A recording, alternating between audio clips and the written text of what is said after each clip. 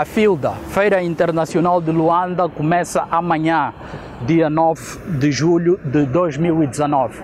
A Feira Internacional de Luanda é pelo menos uma vez por ano a maior, a maior montra de negócios do país. É aqui na Feira Internacional de Luanda que dá para acompanhar a evolução do setor empresarial e da própria economia. Para a edição de 2019, que já é a 35ª edição da Feira Internacional de Luanda, estão confirmados expositores de 21 países, com grande destaque para a Bielorrússia, que eh, expõe pela primeira vez. Portugal será o grande convidado e merecerá também um grande destaque e estarão aqui representados, além dos empresários, eh, membros do governo português.